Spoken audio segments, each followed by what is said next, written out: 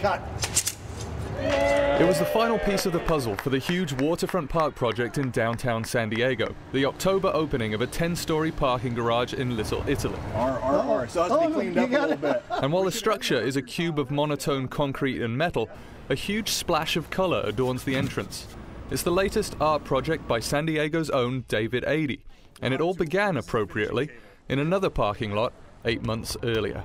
The guy here said there was a, a prison inmate carrier that we've got to get that. Yeah. Adey is also an art professor at Point Loma Nazarene University, and at this kickoff event, students joined him to collect clay imprints of tire treads that would mark the first few hundred of what would become thousands of individual impressions. The fact that each one is handmade um, and it's you know with by myself and, and my students, um, it, it gives it a, a very overall handmade feel, which I think is important to the concept of the piece because it really is sort of about individuality, but also this homogeneity. You know, the fact that we are all indeed individuals, but yet we go through the same ritual every day of getting in our cars and going to our place of work and then dispersing back out to our homes again. Oh, that's a nice one. Look at that. That's that's a new one. That's a new combo we just did. Five months later, at his studio on campus, Adey was busy with a new tool in his artistic toolbox the kiln. I'm just trying to use the the kiln as efficiently as possible, and so I really pack it full to get. Uh, I think the record I got 200 tiles in a firing was the record. After that first collection event, Adey and his assistants had been busy gathering more clay impressions every Friday, about two to three hundred at a time. We did a little bit of everything. We did some. We did motorcycles. We did scooters. Did a couple bikes. One of the groundskeeping guys let me into their uh, equipment shed, and so I got all the lawnmowers and tractors and all that stuff. We did just about any tire we could find. until he ended up with about 3,300 tiles. Now it was time to fire each one in a kiln so that the tiles would withstand the harsh environments that can exist for outdoor public art.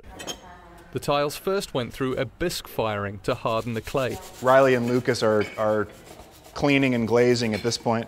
This is a bisqued tile, and what Lucas is doing is, is cleaning off the ash so the glaze adheres better.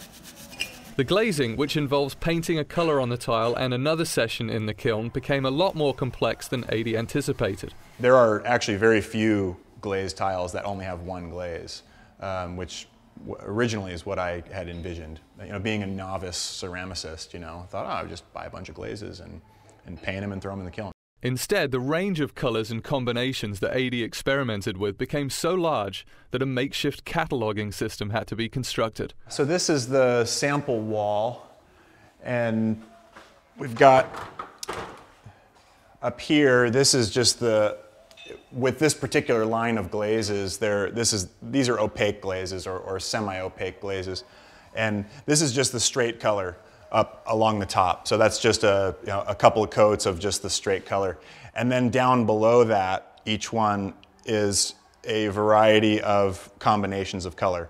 This is unfired. When a tile came out in the color he liked, Adey would make more or make variations on that color, all the time thinking of how they would play off each other in the final arrangement. We've glazed about a little over 2,000 at this point. I have about a 1,000 left to go.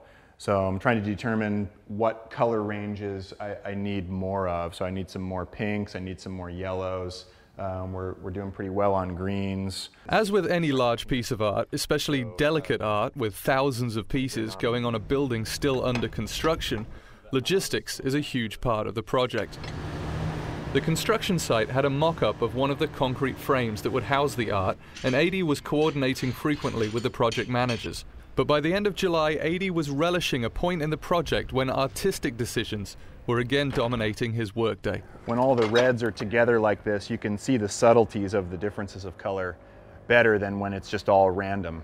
And then the density also feathers out as it, as it moves down the plane. Adey was laying out his canvas of color into four wooden boxes, cut to the exact dimensions of the garage walls. And along with arrangement decisions, he was also figuring out how to put the tiles together in a way that would allow them to be accurately transferred from box to wall. Spent about a week and a half on this one. And now this one's almost ready to go. It's all glued up and in sections. Like this one, here's a section here. That- A week before the opening of the garage, it was time to deliver the art to the construction site. and David Adey was nervous. So many different chapters to this thing, um, and now to, to get it to this point is exciting, but but you know all, all of that work is on a truck, uh, rolling rolling through town. All right, I'm there. This is a uh, it's a very active construction site. They've got a deadline of next Friday, so they've been pouring concrete at our heels. They've been, you know, just today they were they craned over th- this big transformer here. It's a tense site right now. A lot, a lot going on.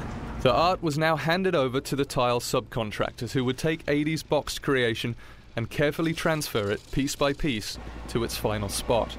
All Adey could do was watch and supervise, but for the first time, he was able to see the art in its intended orientation, vertically placed on the garage wall.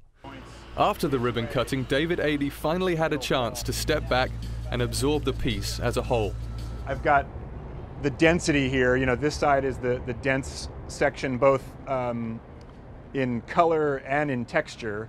Got three or four layers deep here, three or four layers deep here, and then these intense bursts of color of red and orange, and then green and purple. So I'm dealing with complementary colors. So the energy, there's this shift in the wall, and then the energy really pushes away. And, and so I'm, I'm really happy with the way that turned out. For the thousands of people who will walk past the work, he hopes the art will continue to draw interest. The county workers, in particular, are going to be passing by this piece every day, and many of the people that are waiting for the trolley probably do this route pretty regularly. So, you know, you hope over time it kind of percolates, and, and they just maybe aesthetically they find something new, you know, a little a little area or a little moment or something that that was kind of surprising, or or a color that was interesting to them, and they can just stare at it for a while while they're waiting for the trolley. And believe it or not, Adey still remembers where a lot of the impressions came from. I, I know that one was from a lawnmower. Um, this one was from a bike, and that one was from another piece of yard equipment. You'll have to guess the rest. In the County News Centre, I'm Dominic Fulgoni.